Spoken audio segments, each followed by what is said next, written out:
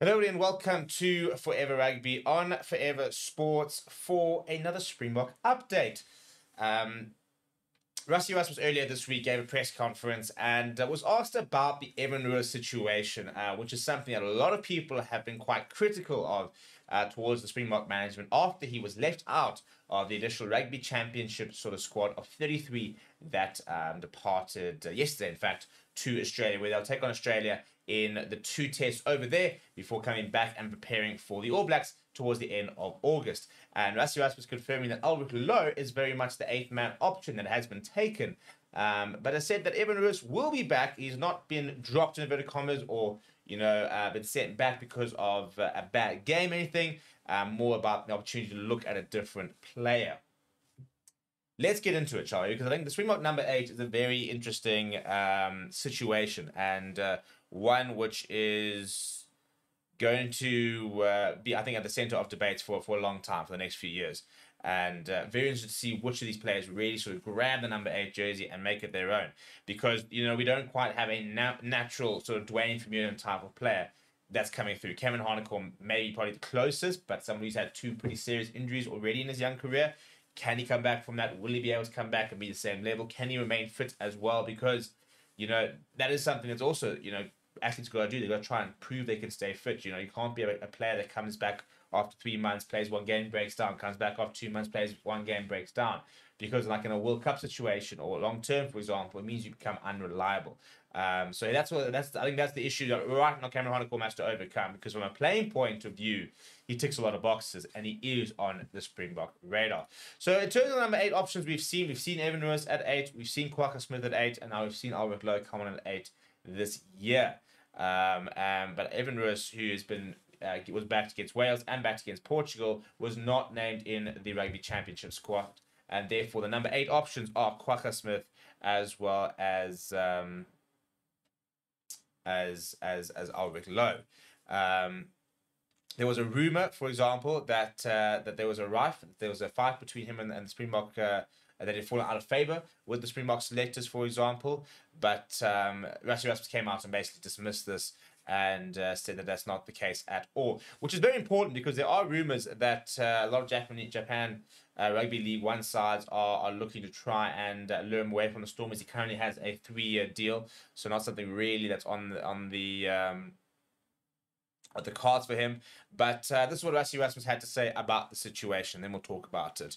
He says, We have two full loose forward troops. He says, Marco and Siya can play six, Peter Steph and Ben-Jason Dixon can play seven, and Kwagga and Elrich Louw can play eight. Elrich can also play number seven. He said, I don't think Peter Steph will be utilized at number eight, and uh, certainly Evan is not out of the mix. Before the Portugal test match, we told the guys get a chance here to go and put up your hand, and certainly a few guys did.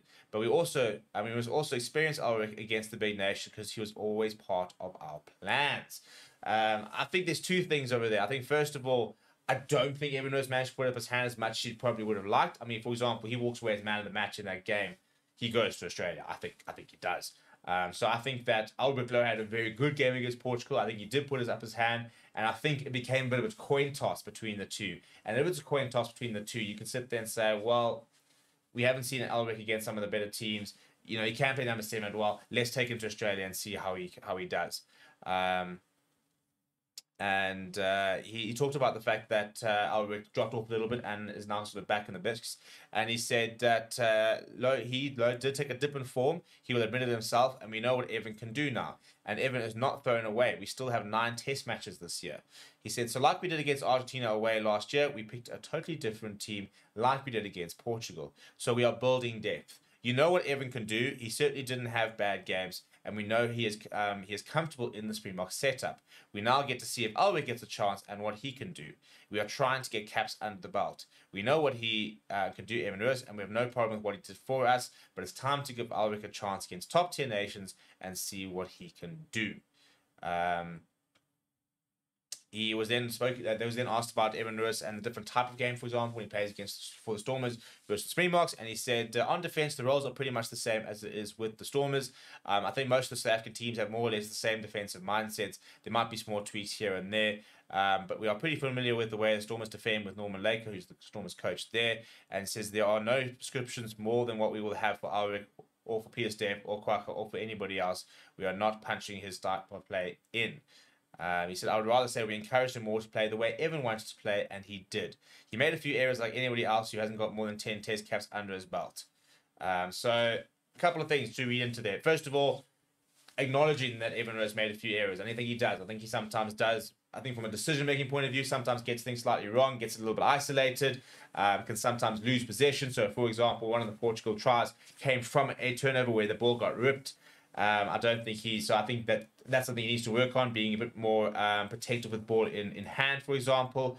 Um, so I do think it's a combination of he didn't play badly but didn't play well enough to say you can't leave me behind. And Elrich Louw played well enough to put a bit of doubt in the selectors' minds as opposed to what the picking order is. So now Elrich gets a chance. And uh, if he goes and plays two brilliant games against Wales, and against Australia, assuming he gets that chance, then I think he goes above Evan Roos, who, you know, then has to wait for his chance. And and this is what we want, really. You know, it's easy to be fans and, and, and just, you know, punt the, the, the team on the player we want. So Stormers fans will be desperate to see Evan Roos playing, and, and Bulls play, um, fans will be desperate to see Elrich Louw fan uh, play. But it's about that competition, and at the end of the day, it's only a good thing if we've got players like Elrich Louw, Kwagga Smith, Evan Roos, then a Jasper Wiese, for example, hopefully Cameron Hanekom as well, or fighting for that number eight jersey, because that's how you get the best out of players. Players you know that they, as soon as they slip off any sort of level, they can be replaced.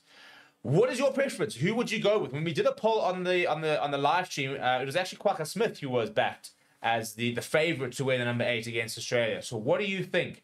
Let me know down in the comments below. Smash a like on the video. Subscribe to the channel as well. Thank you very much for watching. My name is Steve. I'll chat to you soon.